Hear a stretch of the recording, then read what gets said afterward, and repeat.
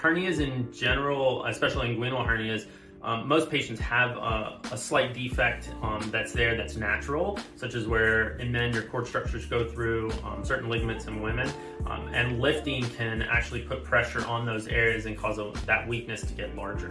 There's not much you can do to prevent them. Um, good core strength can help, but uh, and a lot of patients go through life lifting plenty of heavy things and never develop a hernia. It's just some patients have weaknesses in certain areas, and lifting can push those weaknesses and cause the hernia.